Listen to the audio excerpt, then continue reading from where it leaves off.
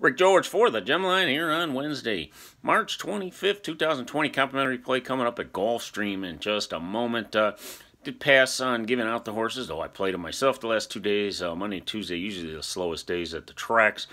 They did have Will Rogers Downs going some decent races there. They handled 2.1 million when they're normally handling six or 700 grand. So about another week, I'll get a handle on. I could see some of the repeat horses. We'll be doing that track as well. Uh, right up today, uh, we've got Tampa Bay up on the uh, pay line. $5 for the Tampa Bay card. Uh, Fairgrounds is canceled. Uh, Gulfstream's just too tough, folks. Going to give you a turf race I like a little bit there. And uh, tomorrow we'll probably have two or three tracks. We will have Oaklawn. Uh, Fonner Park also ran yesterday, and today another track I want to watch for another week or so. Uh, did pretty good on Sunday. We hit the first three at Santa Anita.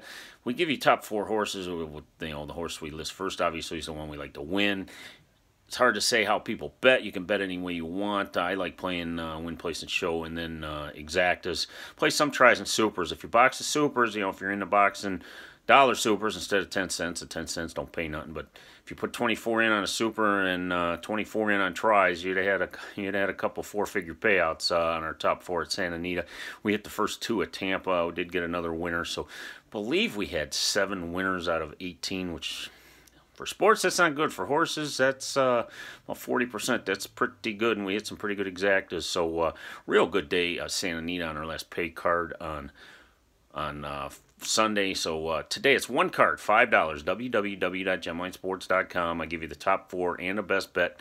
I actually love two horses today at Tampa, and they're back-to-back races. You can play a double on. So today you get the Tampa card uh, for $5, www.gemlinesports.com. It's my top four selections in each race, best bet uh, on one of them as well. All right, free play at, uh, you know, look where I wrote down here. At Gulfstream, race 7. It's a turf race. Uh, scheduled to go off 4:05 p.m. Eastern. Those go off a little later than that in general. But uh, we're going to give you the key of the eight horse. We like the eight on top of the two seven. This probably would be He's nine to five morning line, which means he could go off two to one. He could go off five to two. He could go off three to five. It just hard to tell early with the money, but uh, I think we do got a good winner here on the turf. Race 7 Gulfstream.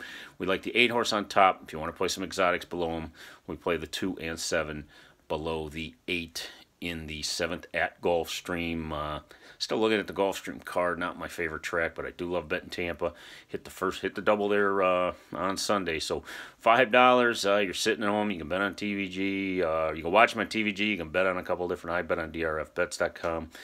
Uh, you can't get fairgrounds there though, but they're canceled today. So check us out www.gemlinesports.com. Five dollars for eight races of horse, uh, eight races of the horses at Tampa. Thanks and good luck today.